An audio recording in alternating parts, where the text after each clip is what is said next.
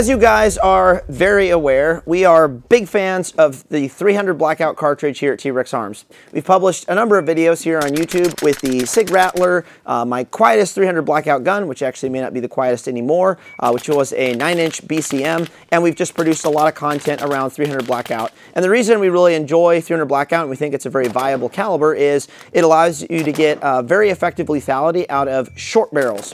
Uh, so instead of you know taking a 5.56 you know round and trying to drop down below a 10.3 barrel, uh, and you know you start having a gun that's not eh, super great, like a 7.5. Um, this cartridge allows you to go all the way down to like 4.75 and still achieve a level of lethality. So 300 Blackout, as far as a backpack gun, a truck gun, um, a PDW, whatever you want to call it, uh, happens to be uh, one of the more effective cartridges on the market if you are looking for that small bag gun.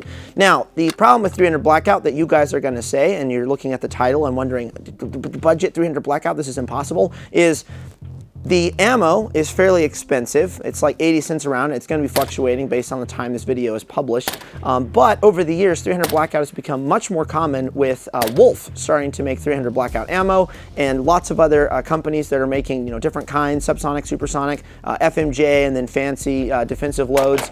Um, so there is a lot of disparity in the price for the ammo depending on which you're getting. Um, and there's a lot of good options out there. So it really is a, a main uh, mainstay ammo at this point uh, based on Wolf making the ammo for it. Uh, it's not one of these like weird calibers that's coming out, you know, in the last five years. It's been around for a while now and I think it's here to stay. So the question with 300 Blackout, if you are interested in getting into one is how cheap can you go? And I know there's some, some, some, confusion because 300 Blackout's sort of that Gucci caliber round, and so it has that sort of connotation going with it.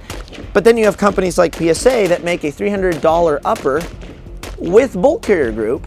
So for under $500, I can build a 300 blackout caliber rifle that shoots this Gucci round. So that's kind of a head scratcher, you know, for some people. And uh, it's kind of been a head scratcher for me a little bit because I've mainly shot, you know, higher end 300 blackouts over the years. But during Black Friday, I was doing some, you know, snooping around. I was looking at sales and just seeing what companies were doing. And uh, I noticed on PSA's website they had uh, this little upper for $300, which I thought was a Black Friday discount. Turns out it's not. It's always $300. But I was a little intrigued because it looked like I could buy a 300 blackout rifle for around $500 and then go out and see just how good it is compared to my BCM, our MCXs, our Rattler, you know, everything like that. So I decided I'm going to piece together a budget honey badger. I'm to see how cheap I can go building a suppressed 300 blackout, bag gun, truck gun, and just see how good this is compared to all these other guns that I've shot over the years. So what we have is the PSA upper, that's around $300. Um, I think it was like 320 on the invoice, but they're 300 right now, we just checked. Uh, an Aero lower receiver, because we use those on most guns here. Great little lower, it was like $90. The lower parts kit I bought at PSA at the same time was, I want to say $80, so nice. So that's where, it's like 490 for the whole gun, without sights, without anything, but that's okay, you know for now. Um, I got a retracting PW stock. This was a little bit more expensive. Honestly, I could skip this and save a bunch of money, but for that Honey Badger, you know, feel and look, um, I wanted to run one of these. This was 375, so a little bit more, but obviously we could chuck that, just run a stock and, you know, be a lot cheaper. Um, for the suppressor, and the rail because we want to go with that integral suppressor look. Um, Griffin Armament was the suppressor that I selected. And the reason for this is you're thinking, hey, you could have used a more budget suppressor, a YHM, you know, or such and such 3D printed can, or there's all kinds of like budget cans on the market right now. They're like 300 or so dollars. But if you think about it, if you are you know, filing all the paperwork for a suppressor and you're putting it on a trust or you're doing a, a personal, uh, you know, you're, you're doing it all personal or whatever, and you're waiting a year for it, do you really want to spend $300 on that serialized item that's tied to you that you're also waiting a year on? In my opinion, that does, just doesn't make a whole lot of sense. If I'm going to go through all of that trouble, I want to go through that trouble with a piece of equipment that's a little bit nicer. So Griffin, I'm not saying that they're a, a mid-tier or, or, even a, a, budget can offering, but it's $575 as a direct thread th uh, 30 caliber suppressor. And I saw, looked at that and was like, yeah, Griffin's probably about as low as I'll go on a suppressor. Let's try one of those. We've got one of some of their uh, A2 birdcage suppressors here in the armory. I've liked how those performed. We don't have some of their higher end cans, but uh, I thought, hey, let's get this one, try it out. And Griffin has a nice little rail that it can sit underneath to give it that sort of honey badger look um, or that MP5 SD look. So I thought, let's give that a shot. And that rail was $90. So the entire build right here that we have without optics and lights and lasers and all that, because we're going to keep that separate for this video. We're just going to focus on the gun and actually, you know, shooting the gun. Um, is $1,500, um, which is about half the price of a Q Honey Badger, um, or actually a little less than half. Uh, so it's fairly affordable, fairly easy to get into. The suppressor does eat up a lot of that. None of that money includes tax stamps, and uh, we're not going to talk too much about that because uh, repeal the NFA. So um, what we're going to do now is we're going to build the gun out.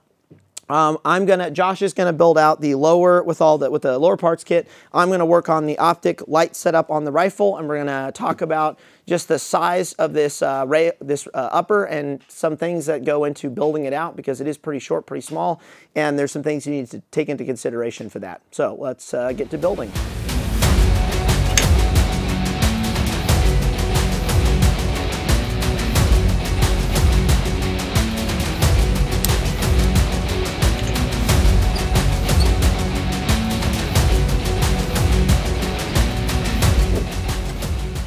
So this is humorous. I mean, it makes sense. They have a box they can fit a 16 inch upper in, and they have this tiny little thing, seven inch barrel, tiny little M-LOK. Comes with the bolt carrier group and a standard charging handle for 300 bucks which uh, almost too good to, to believe. So let's talk about the upper a little bit. Um, I already looked at this uh, when we got it, and there were a couple things that uh, kind of noticed right off the bat that are problematic uh, specifically with how fat this barrel is, being a 300 blackout barrel and just how chonky it is. Um, QD sl slot in the uh, rear, which you will, you know, a lot of people would think like, oh, this is great. It's got a QD uh, slot or, or, hole, so I don't have to, it saves money, I don't have to buy a mount. Um, not gonna work with any standard QD because it is too close to this chonky barrel. Um, so the QD will not actually interface uh, and allow the little uh, detents to actually engage. So gonna have to add a, a mount to this and uh, it's probably not gonna be M-LOK because that's where my hand is gonna go. So I'm gonna have to do something on the top of the rail uh, to actually uh, equip a sling. So that is something to take into consideration. The other thing that I noticed is where the gas block uh, sits, and it makes sense, this is a short barrel, the bottom M-LOK slot is completely unusable, at least for most M-LOK attachments. And I believe everyone is using the same, they come from Magpul, that's how they make their money, it's selling M-LOK stuff. Um, you could get the little screws and the little nuts uh, from Magpul, and they are, I think they come in a couple different lengths, or it's one, or actually no, it's probably just one length for M-LOK, and it is too long for uh, it to work, it's going to be pressing up against the gas block and you don't want that to happen. So on a, bar a barrel of this short, uh, I would like to have a vert grip to just help um, really, you know, keep my hand in the same spot, be that reference point, but that is not going to be an option uh, with this M-LOK slot right here. So that kind of sucks. Um, the two side M-LOK slots are still usable for a white light. Um, there is enough uh, depth and distance so you can attach a Surefire or something like that. Um, but just a couple things to take into mind. So what we're going to do is we're going to use a budget red dot uh, I don't have Holosuns and stuff in here. I know you guys would probably be thinking that would be more suitable for this, and you're not wrong. Um, but I do have a Aimpoint RDS. this is the uh, micro offering they came out with uh, last year that is sort of in that budget realm, at least for Aimpoint. It's like $480. Um, so it gets you into, you know, in the Aimpoint brand for not, you know, $700 for like a T2 or something like that. So we're gonna run that as our optic, our first optic. We have an Arisaka uh, sling mount that we're going to use uh, here on the upper, close to the upper receiver, so I can run a sling because slings are the, uh, they keep the gun to you, very important. Now I'm not going to be running iron sights on this build simply because I do have an Aimpoint, so the battery life and the reliability is going to be perfect. Uh, well, not perfect, but you know, really good. But uh, if I were running iron sights, there's a couple options. Uh, the new MBUS uh, 3 whatever's, MBUS 3 Pros uh, polymer have come out. Um, I think they are like $120 for a set though. So for the same price, you could get a set of Daniels, which are fixed metal, very reliable, been around for a long time. And there's a couple different cool things you can do. If you are running uh, fixed iron sights like these, if you want to save a little bit of coin, which on this type of build you might want to, uh, when it comes down to uh, putting the weapon light on the rifle, you might actually want to do a pistol light at 12 o'clock. Um, you can even run your uh, iron sight here in the back, articulate the switches on either side of the gun, whether you're righty or lefty, uh, pretty easily. That is something that I see people doing. Um, it also keeps the rifle pretty streamlined for bag use. Uh, so that's one option. We're not going to do that though, um, but that is one option if we wanted to run irons and kind of do something a little uh, wonky. Instead, we're going to be using a Surefire Pro Light because I could set it up in a way that's going to prevent me from overshooting the rail. And uh, I'll show you guys what that looks like.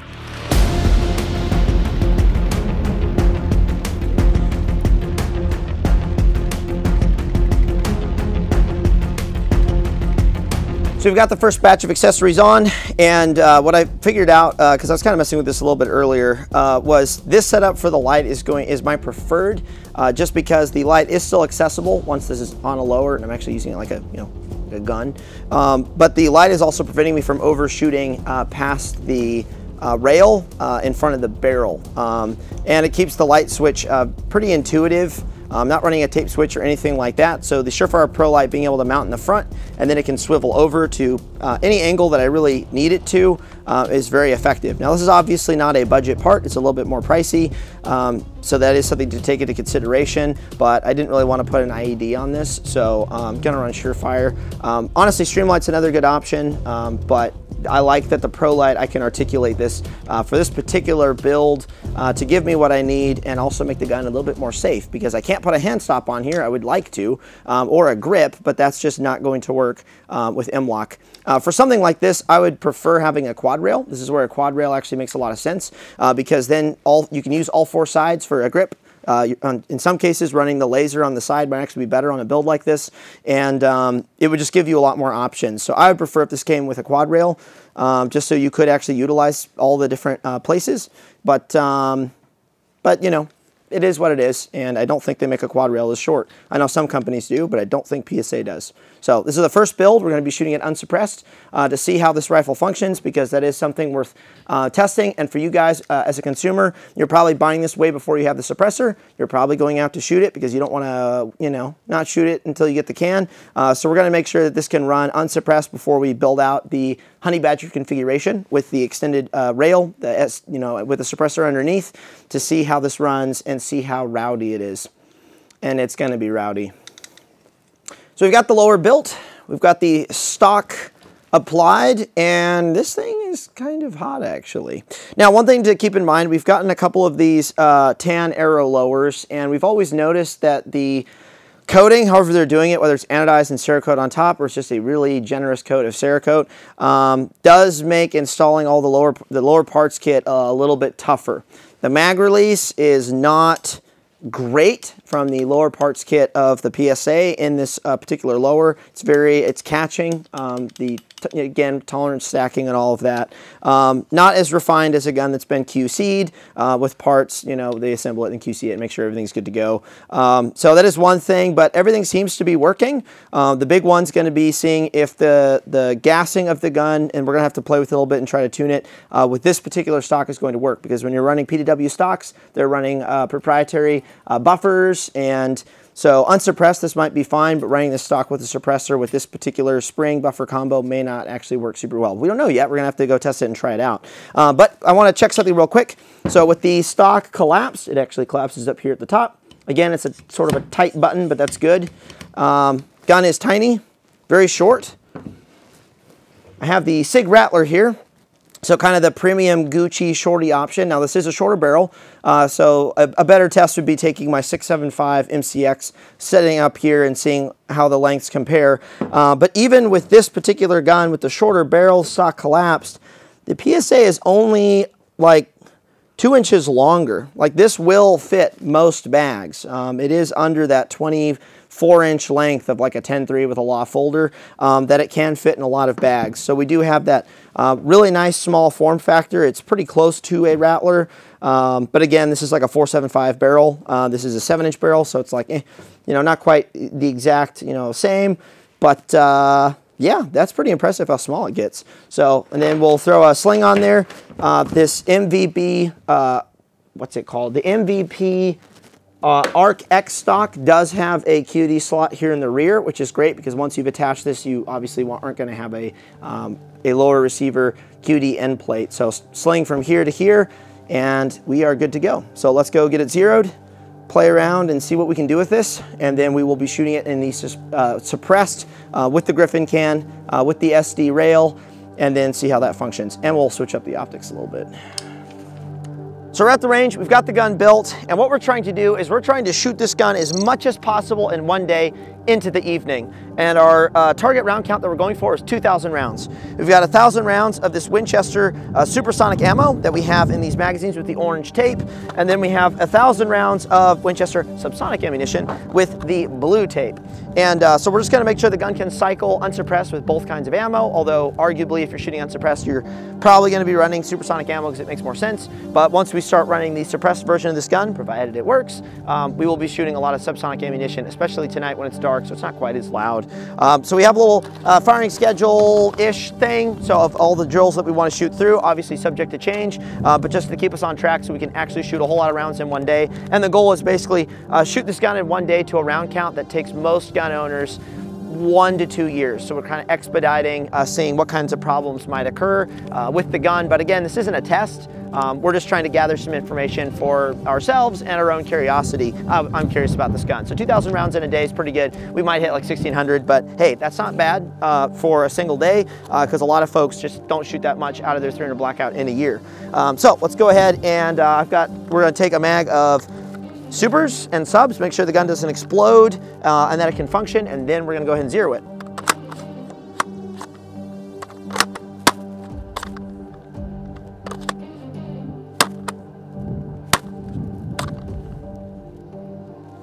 All right, I think we have a problem already uh, with the lower, most likely.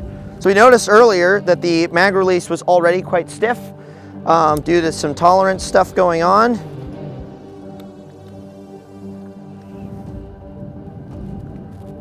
And it is definitely hanging up right here. So it's not fully engaging with the magazine. It's not recessing all the way into the lower. And this is a combination of this being a, I would imagine, a Cerakoted Aero lower, because you've had problems with that in the past. Um, and this being a PSA parts kit that might have some uh, improper tolerancing. So I think we're gonna, I guess we're gonna file some of this away and get it to work. That works. Already click. We're set. All right, now to find out if the gun explodes.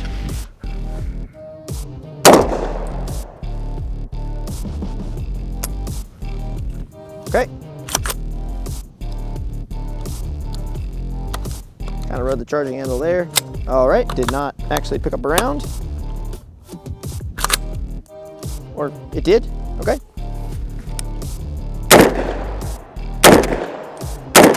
All right, sub seems to cycle when I'm you know, have the gun actually pressed against my body, it's probably right on the verge of being able to work. So we're probably gonna just have to run supersonic ammo, that's okay. Supers.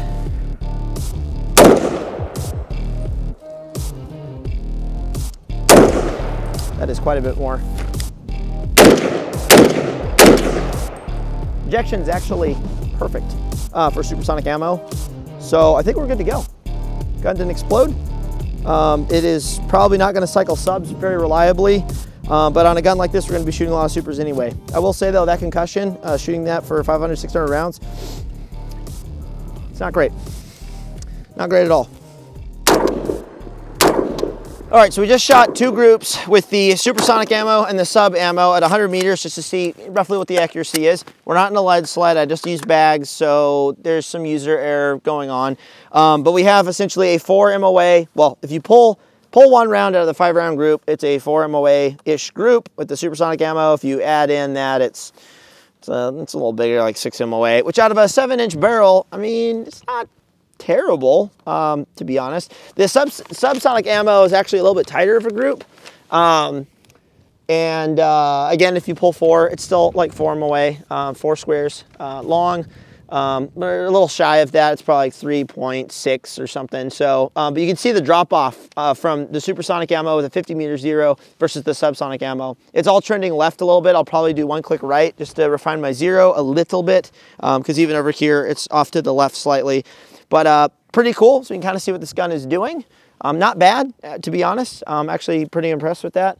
Um, it'll be fun to see uh, what changes when we throw the suppressor on, if that shrinks and gets a little bit better, or if it ends up just staying about the same. If it stays the same, I'm fine with that, but that'll be interesting. So now let's go shoot this gun uh, fast and see what it can do.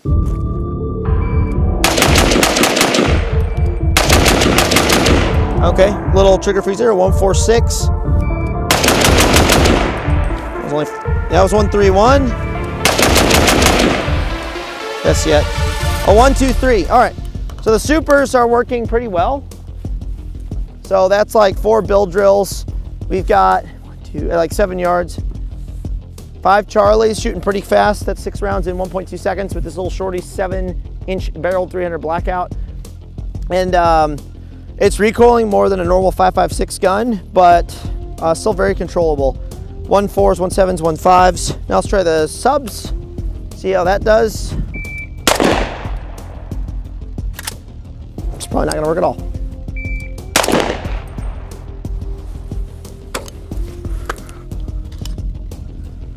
Yeah, it's just not moving fast enough to cycle the gun, which is fine to some extent.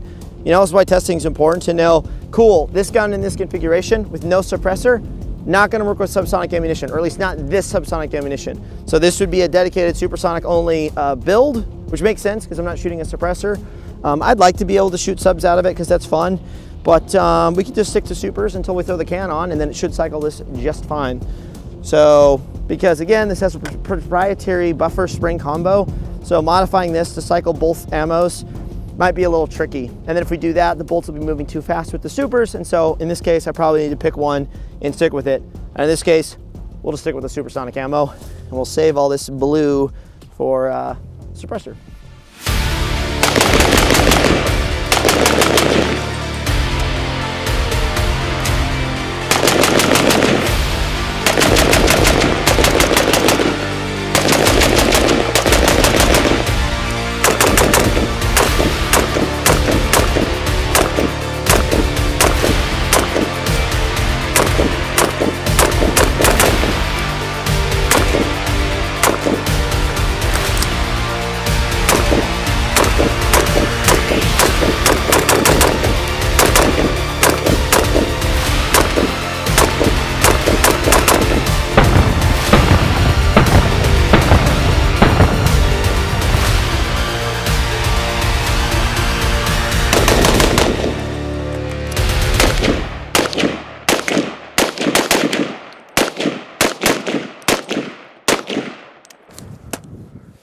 Malfunction, besides the not cycling supers, it is a failure to extract. It's not coming out. We have to pry this sucker. We'll need a screwdriver or multi-tool. Bullet is stuck. First malfunction of the day, and we are like 240 rounds, 210. I don't know if it's a full, it's got to be a casing, not a bullet. Did it come out? Oh. Very well. Well, oh wait, did you see if it was a casing or a bullet? I don't know. Oh, well, it was a full bullet. It light striked. Well, the cycle, it went in. All right.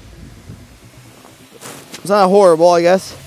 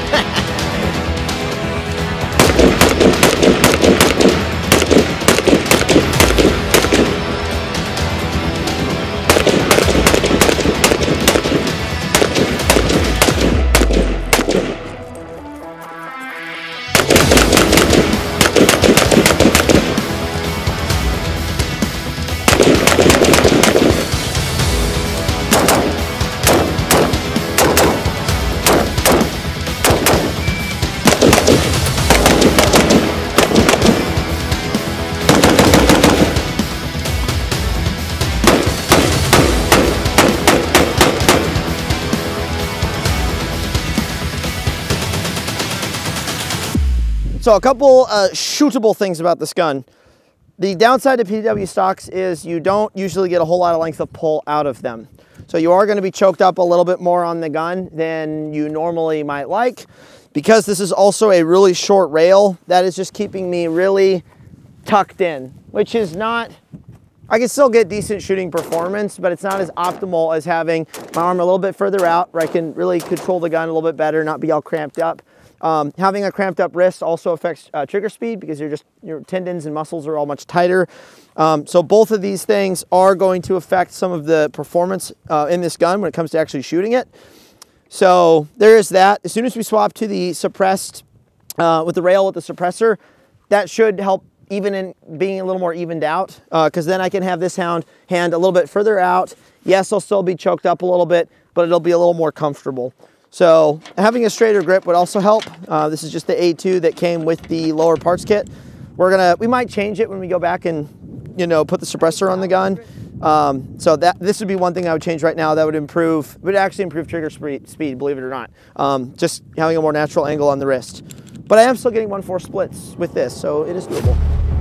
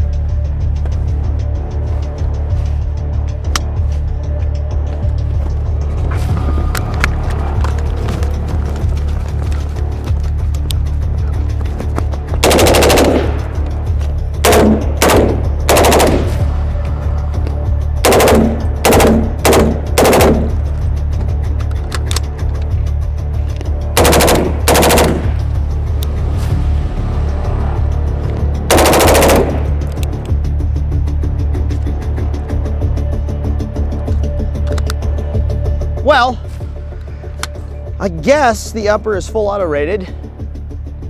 And that's my first time ever shooting 300 Blackout full auto. It does move a little bit, not gonna lie. Just a little bit.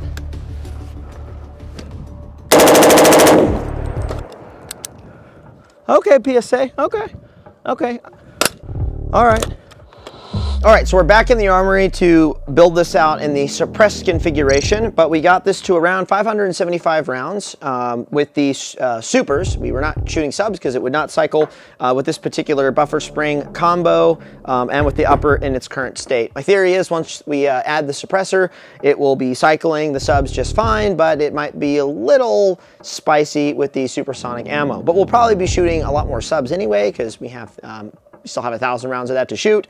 Um, so let's go ahead and open up what we've got. So we have the Griffin GP7 uh, this is a direct thread suppressor. Uh, it's in that $575 sort of range. So it's not that super budget 300. It's not that $1,000 sort of $900 where most suppressors are. It's kind of in the middle. And um, what's cool about this can is it is a direct thread. So you're eliminating the need for a muzzle device. So you're saving a little bit of weight. Um, but they also have a handy little uh, hole here uh, that makes pin and welding this to a barrel a little bit easier. And the reason you might want to do that if you're putting this on say a like a, a nine inch upper 10 inch up or something like that, um, I think this is like 6.75 inches, is uh, if it's meet 16 inches or over 16 inches, uh, it's only a one stamp, uh, technically, a firearm. It won't be an SBR. It is a suppressor only uh, stamp, uh, which we have an upper from YHM uh, that is built like that.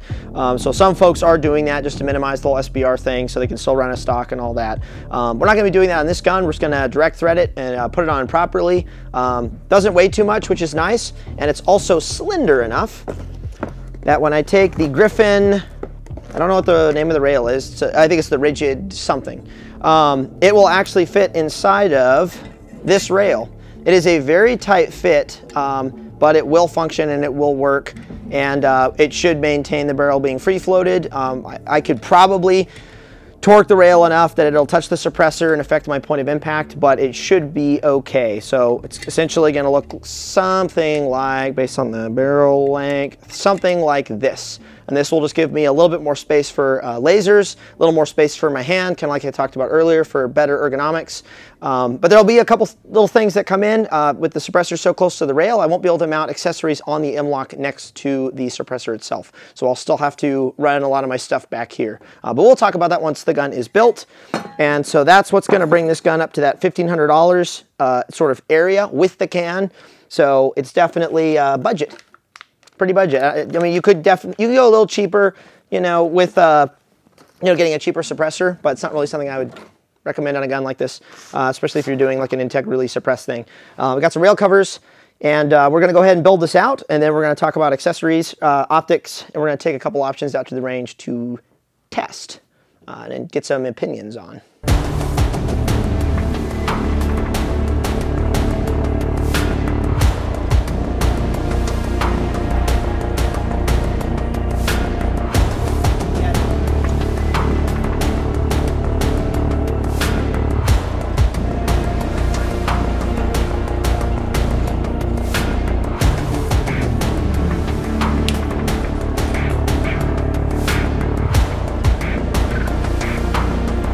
All right, so the upper is built, and this thing is pretty slick. Uh, this is definitely like I, I, shoot a lot of MCX uh, MCX rifles suppressed with the SD rail going over the can, and it is pretty girthy, pretty wide, pretty thick multiple C's. Um, this is pretty slim. Uh, there's a 1.5 inch diameter on the inside, so this is one of the larger, fatter M-LOK rails on the market. Uh, but as you can see, it just really uh, keeps that suppressor uh, nice and tucked away, but it's still you know nice and slim if you do like you know slimmer handguards. I don't mind the ones that are a little bit wider like the MCX, but this is pretty nice. Um, this is actually very close to the new RIS 3, so that's pretty cool. But like I mentioned earlier, all these M-LOK slots up front are unusable. Um, your bolt and nut is going to, it's just not going to engage with the uh, M-LOK slot at all. Uh, so those are completely unusable. The only thing that's usable right here is the rail section on the top for a front sight post, uh, for an IR laser, which we will be using because we'll be shooting with night vision tonight. Um, so we do have that. I can also run my hand out a little bit further, so that's pretty cool. Um, so let's go ahead and see what this looks like with the lower ACOG. We'll try the ACOG.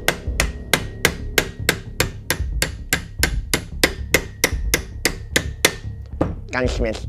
Um, so yeah, so uh, that's a pretty tight fit, but that's all right.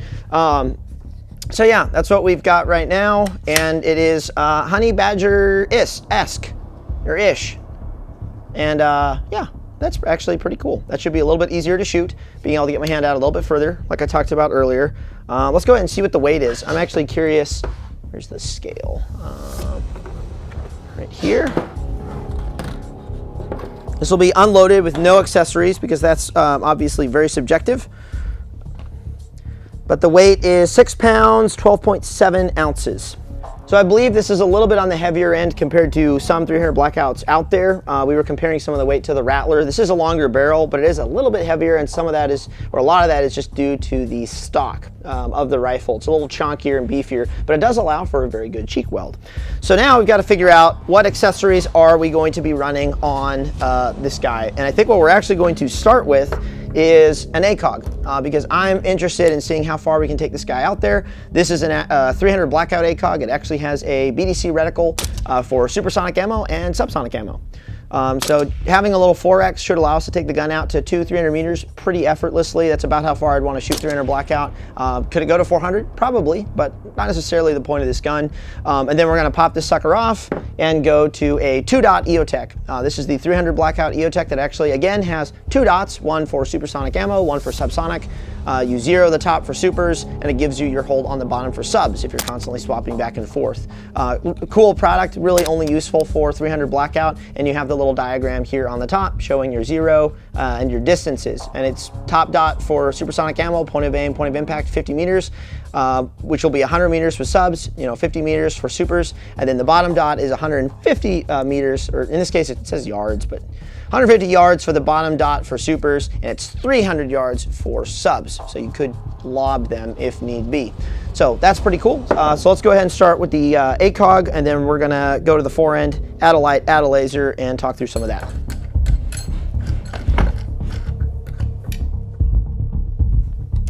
So for the IR laser, we're going to be using the L3 App PLC. There are a ton of these out there on the market. Yes, there's other lasers that can outperform it, such as the MAWL, um, or even the uh, DBAL-D2, and there's some other offerings coming out soon, which I'm very excited about. Um, but there are some things about this laser that I really like. It is uh, very consistent, uh, it holds zero very well, and it's also lightweight, which I really appreciate. And it doesn't have battery drain, at least not that I've witnessed, uh, even if you leave the laser on in the on position, but not like on on.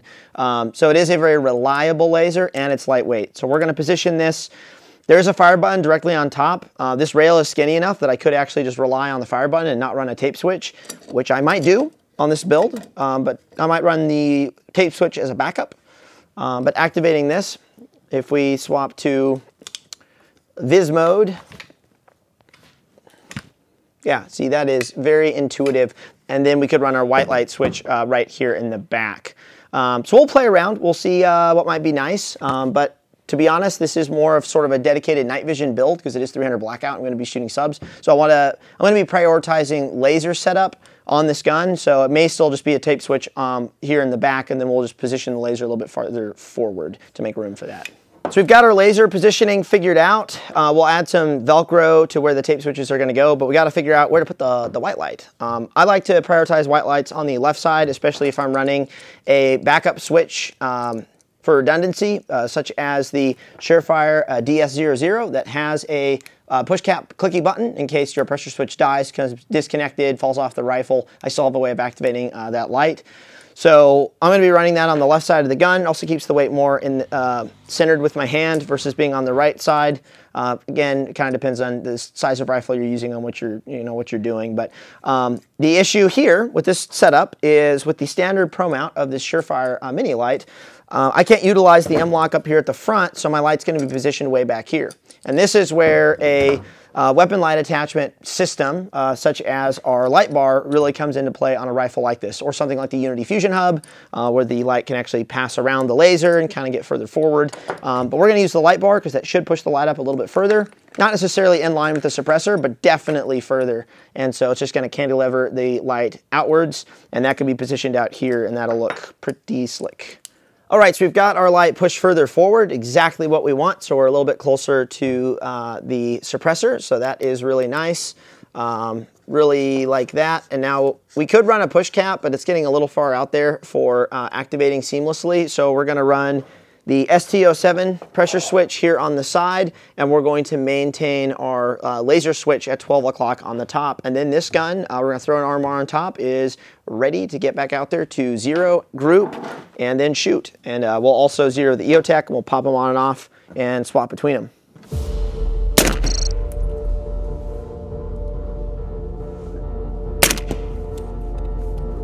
All right, first round pop, nice, nice.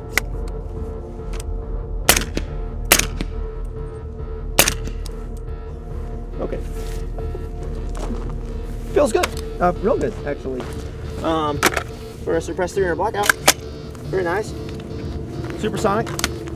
Seemed to cycle fine.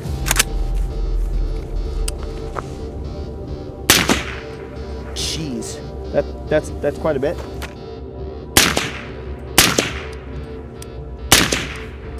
Quite a bit of gas, as you can see. Um, so later we'll throw in the Raptor SD charging handle, see if we can tame that a little bit.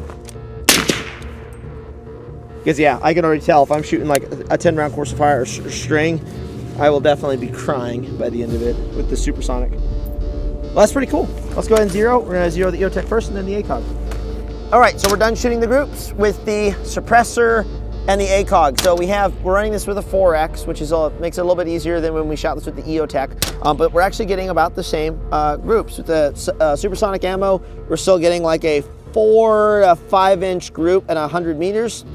If we take best four, we're looking at three MOA-ish, which is not horrible for a seven inch barrel uh, with a can on it. Uh, so we're gonna go out the distance and see what we can do. Uh, with the subsonic ammo, we actually dropped about twice as much as when we were shooting it unsuppressed. Um, the group when we shot unsuppressed was around in this region right here, and with the suppressor it is all the way down here. Uh, the group has appeared, at least best four, if you want to take best four, um, is actually much tighter, uh, like two MOA, um, compared to when we shot it earlier and it was like a three. So pretty interesting. The twist rate on here is obviously going to favor one of the two ammos uh, with a one in five uh, twist, and it does appear to be favoring the subsonic ammo, both suppressed and unsuppressed. But with a barrel length of, uh, you know, seven inch barrel length, this is not horrible. There's 5.56 guns that are 16 inch that are doing this. Uh, so the fact that we're doing this with a seven inch barrel, uh, not horrible, but take that information for what it is. And uh, I am still shooting it off of some bags with a mil-spec trigger. Uh, there's some things we could optimize to get a better group, but we're just working with what we've got right now. So, but useful information. Now we're gonna go shoot distance and see what we can do using both uh, supersonic and uh, subsonic and uh, using the BDC holds inside of the SACOG and see what we can do at distance. Low. Impact. That was an impact. Hit.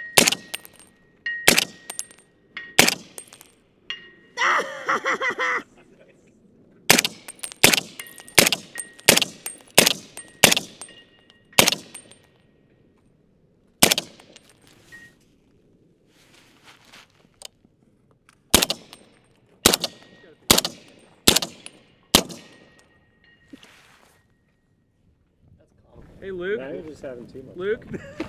Oh, the card ran out of space. Yeah. I didn't get any of that. Can you get two shots off before the first one impacts? All right. You gotta hit. Oh, nice. No, no, malfunction. Yeah, oh dude, I'm watching every single one and it looks like it's going off to the left and This is hot. Where are you holding? On the, Uh, so there's a 150 mark and then it's the one right underneath for 200. perfect. Yeah. Supers though, I'm holding on the six for the four, but I did just have a malfunction of some sort. Ugh. So write that down. Write that down. What? I just got a click when it should have been a bang.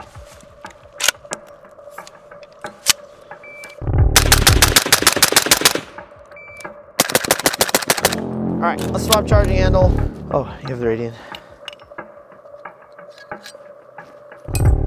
Get rid of that piece of crap. So that's plus 120 bucks? 120. Not horrible. Who knows though? All right.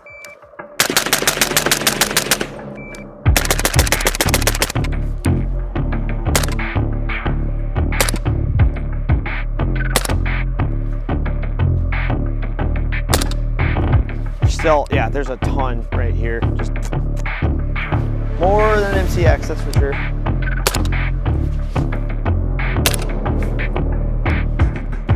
Yeah. Okay. We'll keep running the Radian. Definitely helps.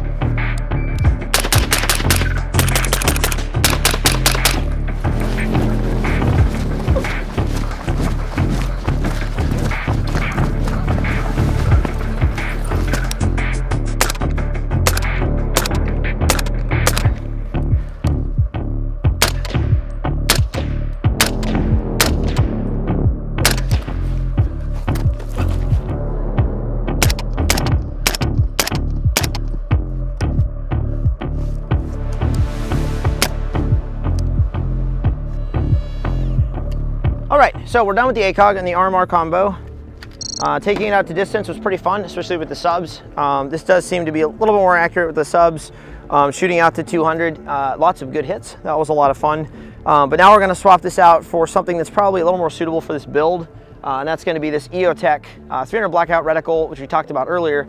And as you can see, it has this nice little infographic that shows you, in case you forget, which most people will if they don't shoot this gun super often, um, exactly where to hold, uh, how to zero, and which dot will do what with which ammo.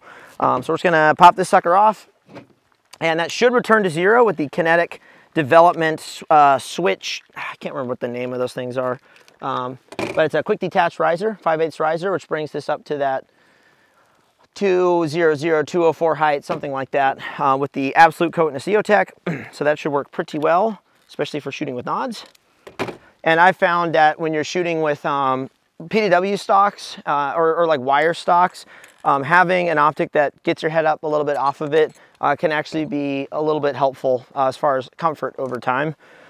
Less necessary on a standard stock, So I like having this raised up a little bit on this build. So it indexes, pops out, and that should, should have returned to zero. So we'll shoot a little confirmation group and double check. But now we've lightened the gun considerably, and it should be maybe a little faster.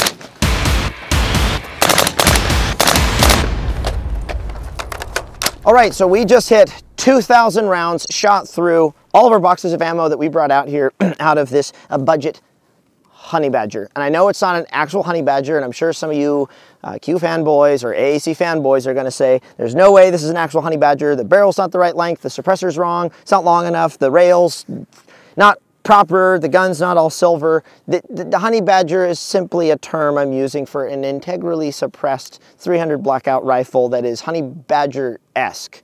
So, but y'all can debate in the comments, that's fine. Um, overall, I'm quite impressed with this gun. Uh, it survived 2,000 rounds. We didn't have any major issues. Uh, the stock came loose a few times, and then finally we were able to tighten it down enough that it stopped moving on us.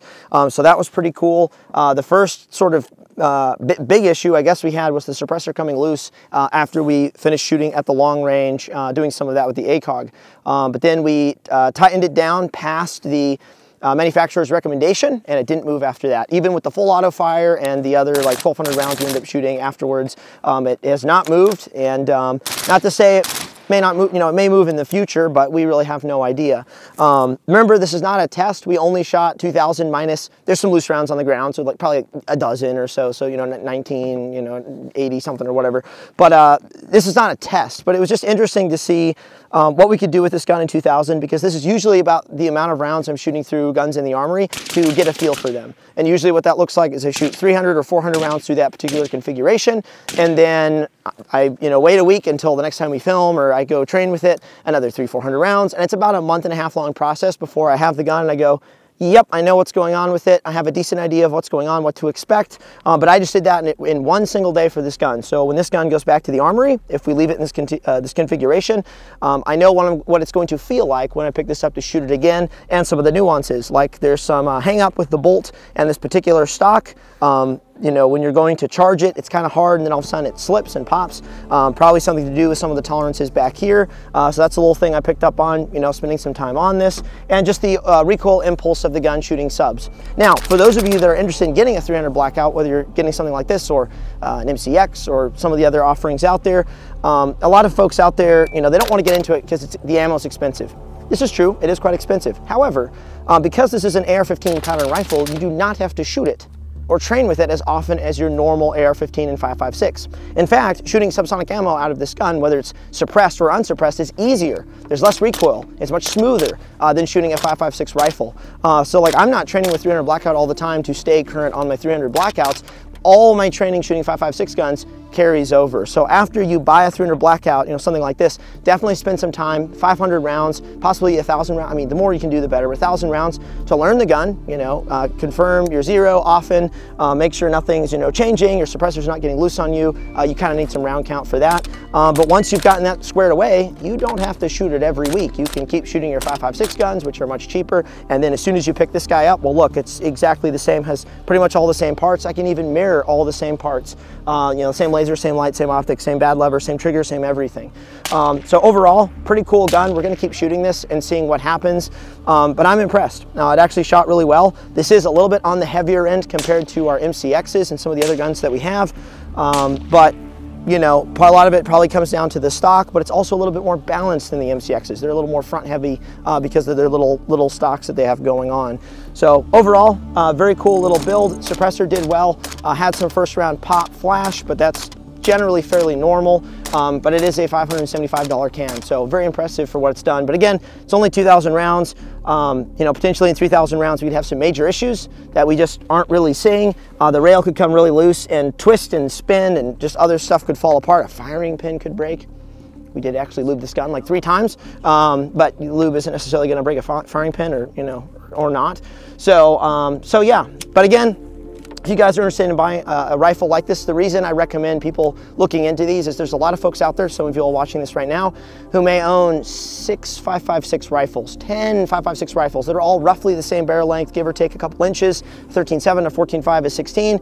Maybe they all have the same type of optic. And to be honest, all those guns do the exact same thing. Uh, what we've been recommending for the past couple years, and we're gonna be pushing some more content on this year is uh, diversify your arsenal uh, or just the equipment that you have. Think about a small bag gun gun that's a little bit more concealable, uh, that probably is in a 300 blackout caliber or even a 9 millimeter that's a little bit more effective than a little 7.5 5.56 gun which isn't that great. And then you have your standard carbine your 13.7 14.5 that's got your LPVO or your ACOG that's like your sort of do-all rifle, uh, infantry carbine, and then your designated marksman rifle, your bolt gun, whatever it happens to be if you're going that route. Uh, but that's will give you a lot more capability than owning six guns that are all the same, which I often see with gun owners. Uh, they think being more prepared is buying a lot of the same gun, and that's really only useful if you want to use them as currency or you want to arm um, a group of people. Uh, for uh, some reason. So uh, just a couple things to think about. Little gun like this, pretty cool option for that, you know, small subgun, bag gun uh, category. And then you have your 5.56 rifle as your main infantry type gun, and then your designated marksman rifle, your SCAR, your, you know, your bolt gun or whatever. And uh, we will be talking more about that stuff in the future. So hope that video was helpful, guys. Um, but remember, training is key. We say that in every video. Uh, but the only reason I'm able to run out here and shoot all these drills consistently, whether it's with full auto, supersonic ammo, which does recoil more than 5.56, is just running very basic reps, knowing how to handle a firearm. Uh, you don't have to do a bunch of crazy stuff. You don't have to do big kitchen sink drills. Uh, little simple drills, isolating out the mechanics is what's going to allow you to execute at a high standard consistently when you are put up to shoot a run and gun stage or something a little bit more complicated. So uh, stay safe and we will see you guys next time.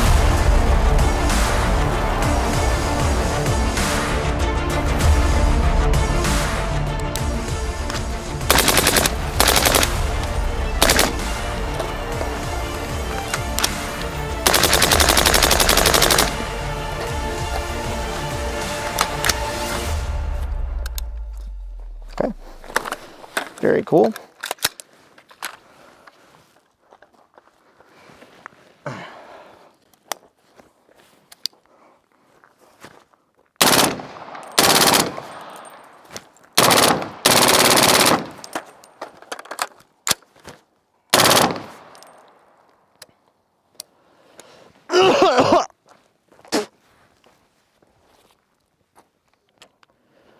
That's the MCX.